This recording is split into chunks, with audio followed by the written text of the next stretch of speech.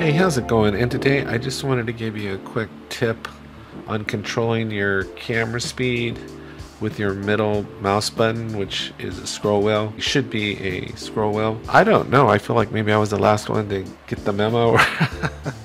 okay, so we all know if we press down W and I hit the middle mouse button and I I can go forward. And if I hit S and hit the middle mouse button, press down, middle mouse button, just pressing down.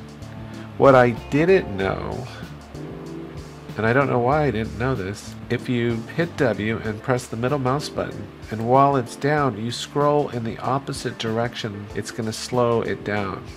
So right now I'm holding down W, the middle mouse button, and I'm scrolling backwards. And I'm slowing it down. This is such a handy feature to know.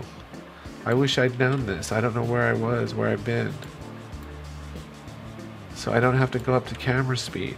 I can do it with the middle mouse button. Now if I want to speed up, I can just, let's say I'm going to back out here. So I'm hitting S, the middle mouse button. I'm hitting S in the middle mouse button. Now I'm scrolling forward while I'm going backwards. Pressing down and scrolling forward. I can speed up. So again, hit W, middle mouse button. I'm going pretty fast. If I want to slow down, now I let me hit S again. S, middle mouse button. I'm going, scrolling backwards to slow down. Wow.